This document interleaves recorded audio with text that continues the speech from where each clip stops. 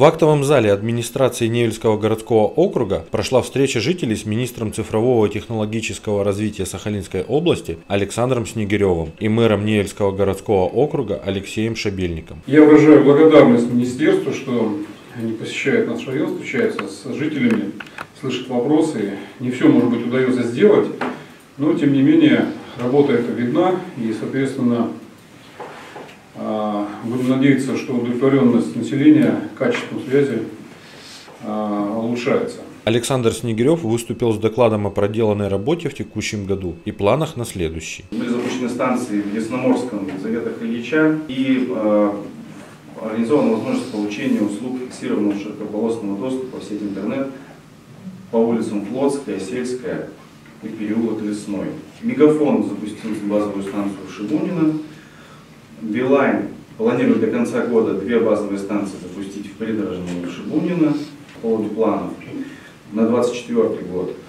А, значит, в Ясноморском должен появиться вторая площадка МТС, ну, увеличится качество да, и там, охват.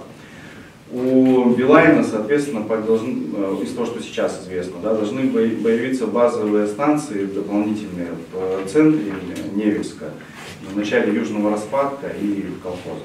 На встрече обсуждали потребности населения в сфере цифрового развития, вопросы качества телекоммуникационных услуг, работы МФЦ, Почты России. Поговорили и о проекте «Единая карта Сахалинца». Также министр затронул проблему покрытия сотовой связью Ловецкого перевала. В этом году, вот сейчас, в, э, в последних э, поправках мы получили деньги, выпили, можно сказать, на проектирование покрытие сотовой связью Ловецкого перевала.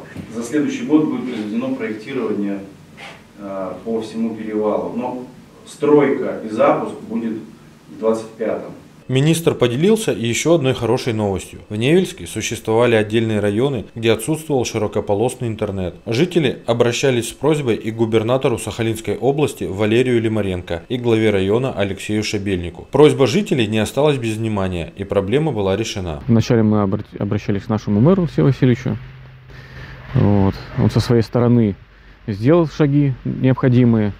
Вот. А тут как раз и губернатор к нам подъехал.